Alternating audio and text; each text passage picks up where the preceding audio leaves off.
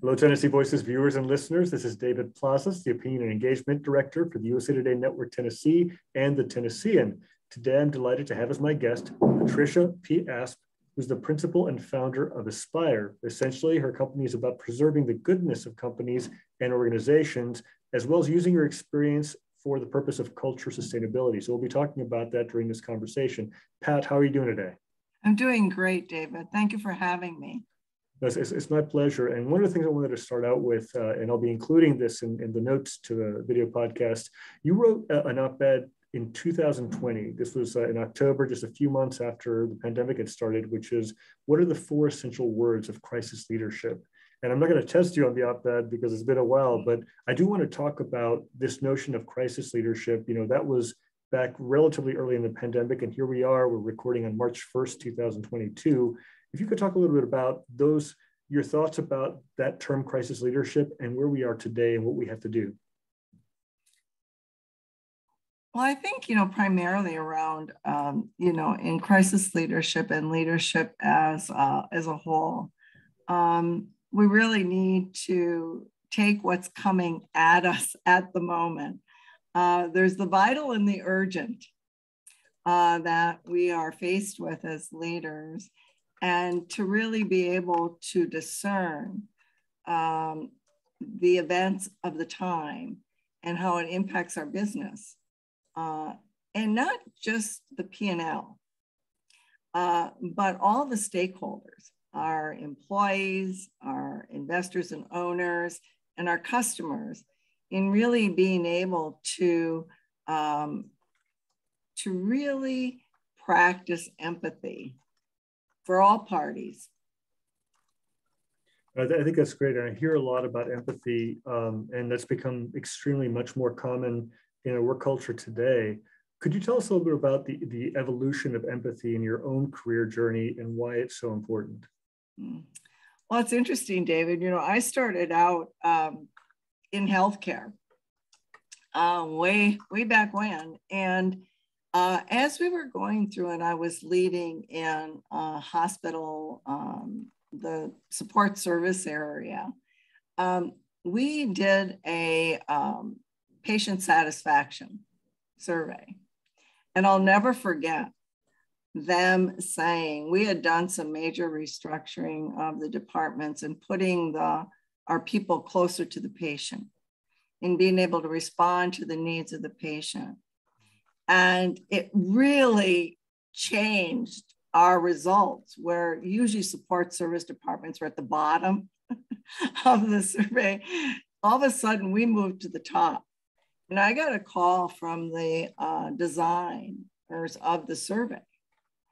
And um, they shared with me, and this was decades ago, decades ago, that the essence of patient satisfaction really dealt with empathy for the patient and the family. And that it wasn't really technical know how and support, but it was really meeting the patient where they were at. And that lesson of practicing true empathy and hardwiring it into your processes and your systems stuck with me for all those decades. Well, that's that's fascinating because this whole conversation, my own experiences in business school, focusing on patient-centered or customer-centered, has really not always been there when it's come to to the, the business world because a lot of it was product-centered uh, and not necessarily about that satisfaction that you get. You know that uh, that notion. Could you talk a little about about that and and, and what what about yourself did you bring to the table that helped you help others gain that insight? Well, you know, when you bring yourself and the humanness into leadership or management or supervision, and ask yourself the question very simple how would I want to be treated? Even in really tough situations, how would I want to be treated? In business, you're hiring people, you're firing people, you're disciplining, you're promoting. And it's really taking that essence of first, how do I want to be treated? But secondly, getting to know the person well enough to determine how they want to be treated. You know, all people are different. And so we can't assume that a label or a group or an area that they all want to be treated the same way. You need to get to know people. And you really need to understand where they were coming from. What, what makes them happy? What makes them sad? What motivates? And what demotivates? And we're all people. Now, is this something that you had to learn, or was this something that you were taught and you brought into the business? Well, I think, you know, I think it started with my parents.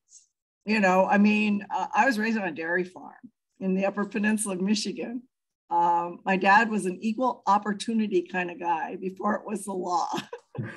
so I have an older sister and brother. But the interesting thing was, um, everybody was welcome in our home, everyone. And you know, way back when, when there were hobos that would ride trains and they would maybe jump off on your land, and my dad would bump into in the lower 40, they were invited into our home for a meal. And not only the meal, but my mother used to pack them sandwiches and that along to take with them on their journey. And it was it was very interesting to us as kids, right? We thought like, well, maybe they would, you know, my dad would bring them out a sandwich. No, they were invited to the table. They ate with us. And so that lesson through life of all are welcome. You don't judge a book by its cover, right? Uh, you don't treat people any differently uh, you know, on the farm, you we would have like visiting people from other countries. My uncle was an extension agent. And so he would bring these people in, and they were dignitaries. It didn't make any difference. And then in business, and you know, obviously coming first up through healthcare, where there was great compassion and empathy um, towards our patient, towards our employees. I was in the service industry. The work we did was very mundane. Uh, frequently, our service employees were invisible. People would walk right by, they wouldn't use their name. And so we then, I mean, our awareness of that.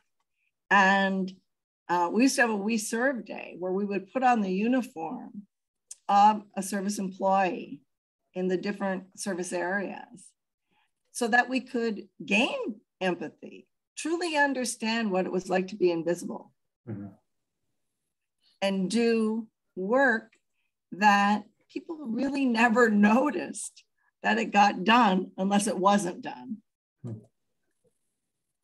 Now we talked about just as we were uh, before we started recording that uh, March is International Women's Month. I wanted to ask you yourself: Was it uh, difficult to break into the the C-level suite and into uh, executive, and, and how did you manage with people who might not have been so welcoming because of your gender? Uh, well, it's really interesting, uh, David. Obviously, there weren't any women uh, at the executive level in Fortune 500 company that I grew up in. I was there 25 years. And so I am a product of being male mentored, male sponsored. And yeah, there were uh, times when it was like walking down a black hallway and mm-hmm. turning the lights on as we went along but I, I think at the end of the day, when people's hearts are right, uh, do people make mistakes? Yes. And was it unusual to have a woman at the executive level? Yes. But I believe through a spirit of uh, authenticity, a spirit of for the common good. And at the end of the day, it was about results. And I often tell people I could have been pink with purple polka dots. But when I was achieving results consistent with our values and mission and vision, it really didn't make any difference. Well, right now we've come to the point of the conversation where I'd like to ask guests what they've been doing for their own self-care. So often leaders put so much, have so much on their shoulders, they don't often take care of themselves the way they should. So what are you watching, reading, doing just to take care of yourself and your wellness? Well, severalfold. One is, um, you know, I am a, a woman of faith. And so having that luxury of those hours that I used to spend driving and on the road to spend time in, in devotion and in prayer, but also uh, moving my exercise regime from the health club, which got closed at the beginning of COVID, uh, onto the streets of walking and exercising outdoors and really appreciating nature uh, and the beauty of nature and the wonder of nature. Uh, and I continue to uh, do that where we had some extra hours that used to be spent traveling and commuting that could then be spent for both my physical health, but also my spiritual health as well. Thank you so much for that. Um, as I was reviewing some of the uh, guest columns that you've written over time, there's some common themes. We talked about crisis leadership with the first one. You've also written a op-ed called Business Owners Must Have Perseverance to Survive the Pandemic, and businesses are having to do a lot of pivoting in this COVID-19 economy. Since you are a specialist in culture and sustaining that, could you talk a little bit about how businesses can do that effectively and what they what pitfalls they should look out for? Mm-hmm. Well, there, there's times of vulnerability in a business. It could be during rapid growth, it could be succession, or uh, mergers and acquisitions, uh, change in ownership. And frequently, as business leaders, we look at key indicators. It could be retention, uh, litigation costs, worker compensation claims, um, the time it takes to fill a position, or when we're seeing uh, a great departure, uh, what years, what tenures are people leaving? And so when we get those indicators in that, it's time to step back and not address the symptoms, but really look at the overall. And companies, as a rule, have a mission and a vision and values. What can happen in a very diverse organization, global organizations, even when we say the values, people may have different definitions of the values. Mm-hmm. It's so it's important from an organizational perspective when we put values out that we give the operational definition for our company. What does it mean here? What does integrity mean? What does teamwork mean? Uh, what does mutual respect mean? And so that we are creating alignment. And then we need to go a step further. We need to say, what behaviors do we expect to see evident when the values are being practiced in our company, in our organization? Because behaviors are observable. And so we can measure them and we can coach to them and mentor. They can be in our position descriptions, in our performance reviews, in our promotional criteria, in our compensation schemes, so that you're hardwiring your culture for sustainability into your company and organizational model. Thank you. Uh, you know, I think I think this is important, especially at this time when companies are struggling with the retention aspect of it, and also the recruitment aspect. You know, the Great mm-hmm. Resignation is a term that has been used uh, by many analysts, and uh, we're certainly seeing the effect of that in the way that some companies are uh, increasing their minimum wage substantially, and others are trying to create new internal structures to create a more welcoming environment. Uh, what have you found over time has been, is there any secret sauce that might help companies in this environment? Because it certainly is unusual, at least to our current era. Mm-hmm. Well, it's important to remember that behaviors transcend any labels.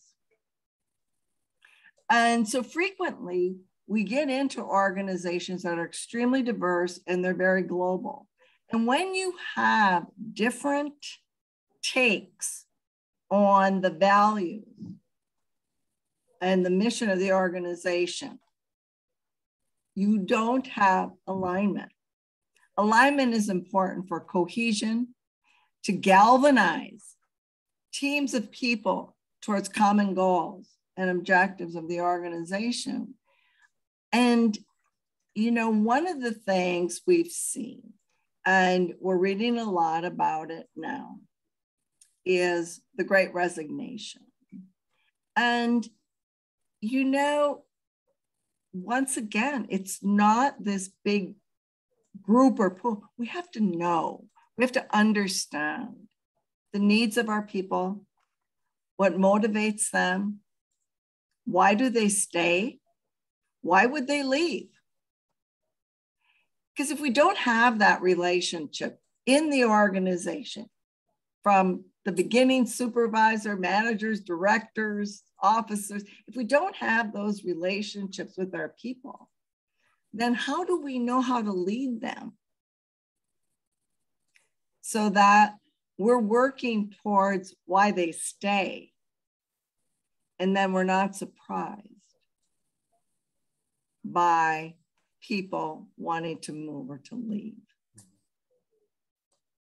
Yeah, it's certainly been something a challenge for so many organizations just to reevaluate their own values and their own uh, role in the community. And uh, one of the things that has been interesting too is to see that uh, employees and especially younger employees are expecting their companies to be much more socially active uh, mm-hmm. and uh, and especially when it comes to causes and you know is there um, any danger or benefit opportunity from that kind of relationship i i can't really see a downfall to mm-hmm. it i think what the overarching um, driver is purpose you know, what is an organization's purpose? What is a company's purpose? And what we're seeing, as you mentioned, David, is our younger um, uh, groups of people coming into our organizations uh, work for a cause, right? They need to know how what they do makes a difference. And we all want to make a difference. I think it was R.C. Sproul that said, Deeply ensconced in the marrow of our bones is the need for significance. And from that, um, looking at our business, looking at it not just in terms of what we do, letting people know why it counts. Because we all want to count. Well, Pat, I am so grateful that you have come on the show to talk about your expertise and to talk about many of these important topics that uh, companies and organizations are contending with today. And again, for the Tennessee Voices audience, this is Patricia P. Asp, who is the principal and founder of Aspire, Preserving the Goodness of Companies and Organizations.